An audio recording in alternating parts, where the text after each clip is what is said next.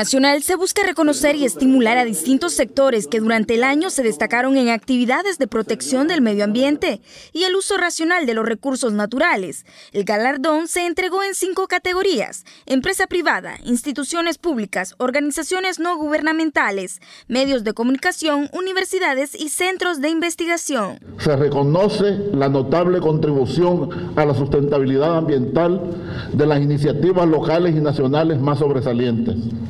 Gracias por asumir ser parte del esfuerzo por revertir la degradación ambiental en nuestro país. Las amenazas del cambio climático nos imponen generar mecanismos para la protección y uso adecuado, responsable y sostenible de nuestros recursos, por lo que el Estado tiene la responsabilidad de incentivar acciones dirigidas a este fin. Entre las instituciones públicas galardonadas, el Fondo Social para la Vivienda por cambiar la iluminación convencional por luminarias con tecnología LED y sustituir los equipos de aires acondicionados por equipos de bajo consumo.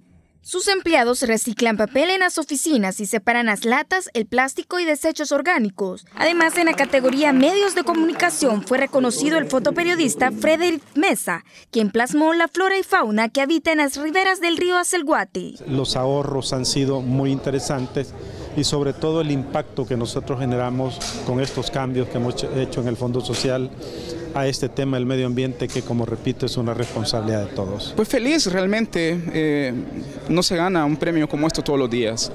Eh, y más que el premio es un poco sentirse recompensado de que el trabajo que se hace día a día como periodista es, es, es visto, es, es escuchado. Los proyectos participantes fueron cuidadosamente seleccionados y evaluados por un jurado conformado por profesionales del medio ambiente.